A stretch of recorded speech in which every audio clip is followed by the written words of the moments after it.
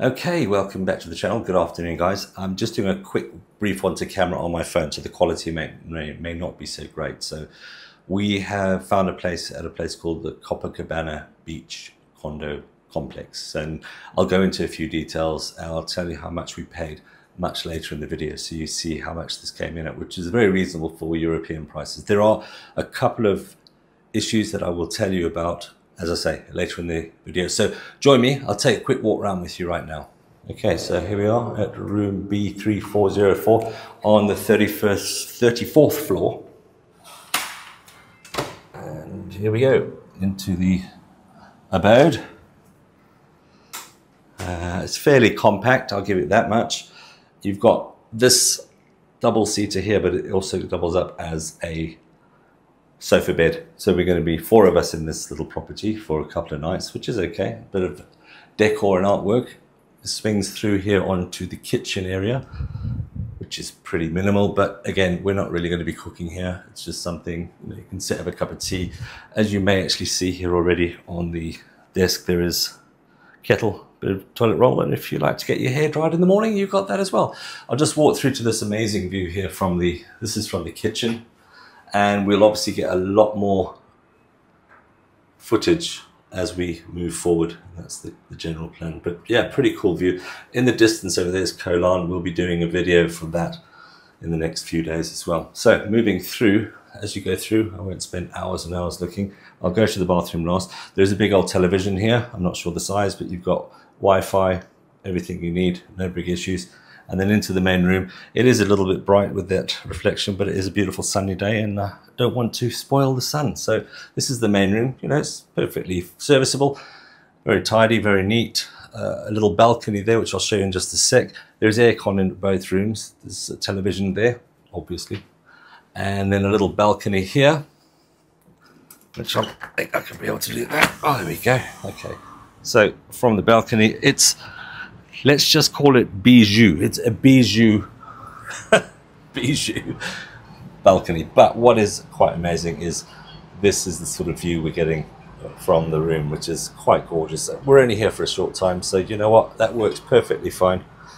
And I'll wander ourselves back in to the the main body of operations, and I'll just whiz through. That's the main door entrance there little cupboard on the side. I'm not going to be one of those guys who opens all the video, all the drawers. I know a lot of people do that. I don't understand why, but there it is. A bit of cleaning materials if you need them with a loo, simple toilet, uh, bathroom basin.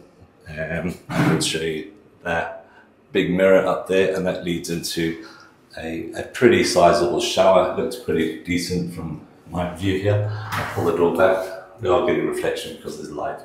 But yeah, you've got your amenities there, uh, washing soap and, and shampoo. It's all the gold work. It's isn't it? They're trying to create sort of that effect, which is working. It's pretty good. So there it is, guys. That's a quick run through of the room. What we will still do is we will take you around the building and maybe get a bit of drone footage a bit later on. Enjoy.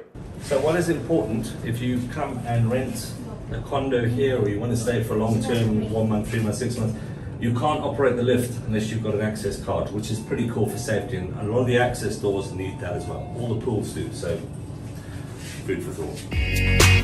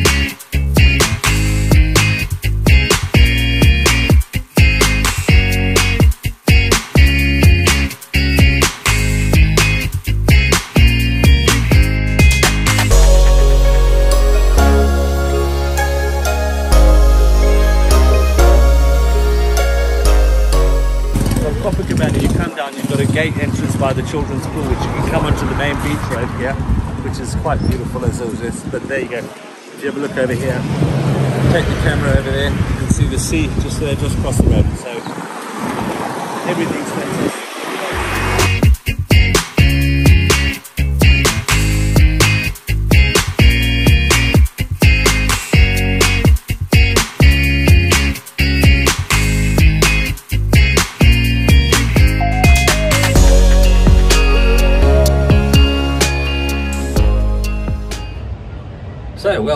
Folks. So this is an unfortunate place to be right now, but somebody has to do it, and I'm prepared to take the mantle. And this is a little view from Jomtien from the 35th, 30, I said that before, 34th floor of uh, the Copacabana, which we'll show you a bit more about. This is, you know, I don't know, I just have to try, I guess. Welcome back. Here we are. Look at that amazing sunset. On in the distance, you see that island. That's actually an island called Koh Larn, and we will be going there tomorrow, taking some footage. You've got some amazing, I mean, clear blue sea over that over there. It takes about 45 minutes on the ferry, which costs, I think it's approximately about 75 pence to go. It's unbelievable. So anyway, this is the shop. If you, the, the nearby shot here this is all Jomtien to your left. And as we move to the center and you see the tower in the distance, that starts to become more sort of Pattaya itself. But most of what you're seeing in the, in the foreground is in fact Jomtien. And as far as the eye can see, and it's not as easy to see from here, that's actually Pattaya itself, Pattaya Central. So this is a few miles away, much calmer, much nicer, an awful lot of fun. I'm going to zoom down from above and we'll try and get some footage while we're here. But this is the Jomtien night market where you get some amazing food. You just see the roofs, unfortunately. It's not exactly exciting, but from our, there it is, right down there, right next to this amazing place called the Copacabana Beach Resort. So we'll get some more stuff for you guys and hopefully it's nice to go down there. You can have a nice cold beer, overlook the ocean in the early evening. It's just amazing. All sorts of food from Western to Thai to, to, everything, including things such as clothes and gimmicks and all, all sorts of fancy bits and bobs that you might want. But stunning place, absolutely stunning place to come to. It's so warm.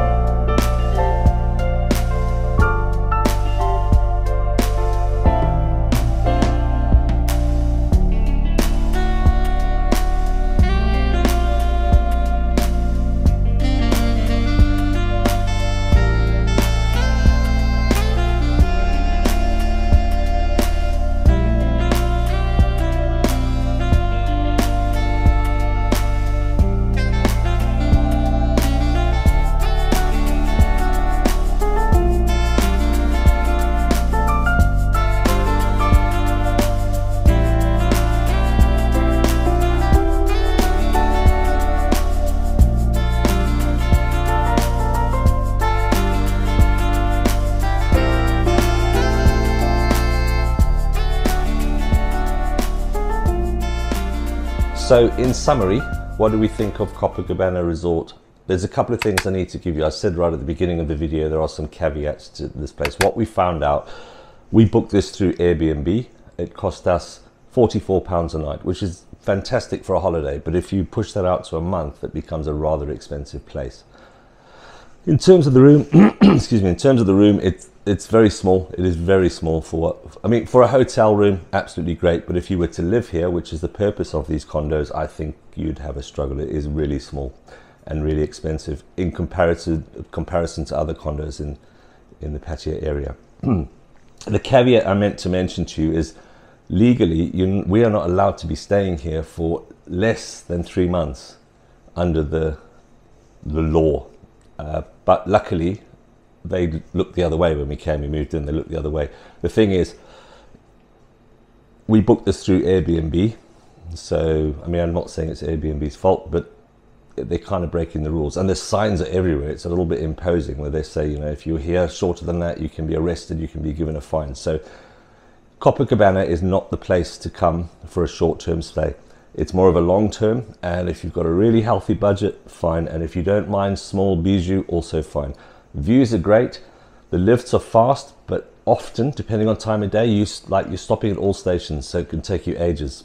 It does take a long time. If you're alone at night, late, it goes up pretty quickly. But it's got 59 floors, so bear that in mind if that's the kind of living you got you want. It does have underground parking if you live here, so that's that's a nice advantage as well. But I would say just think very carefully. I'm glad I came to see this before, you know, I want to sort of settle myself on a, a, a condo. I, I, I would not choose to live here personally. But holiday, spend a few days here, fantastic. Really close to all the amenities. You've got 7-Eleven, you've got the night market down the way. I think it's it's good value in that sense. In terms of payments per night, for food, you could pay like anything from 50 to 100, 150 baht per person, which is again very good if you use the food market, which I recommend because there's pretty much everything there. So yeah, great place, lovely surroundings, but not a long-term stay. Be very, very careful when you're booking on Airbnb because this is not a hotel. And owners who treat it like a hotel can get into a lot of trouble. You know, we, we're lucky they look the other way in this case, so we're leaving shortly, no problem but I'd be aware of that. But price per night, excellent in foreign terms. £44 a night, accommodated four of us. It was a one bedroom with a pull out uh, couch for a bed. If we were to be in here all day together, never. It's just too small. So thankfully, because we weren't, we were out, out and about, it didn't really have an impact on us. Quick last thing, the floors. 59th floor has a pool, 40th floor has a pool, 30th floor has a pool, and the ground floor has a massive pool. All of the pools are fantastic. All of the pools, other than the ground floor, have got great views. Nice place to sit and just chill out. So yeah, it is a good place, without a doubt. I'm just telling you what those caveats are. So until the next video, we'll see you soon.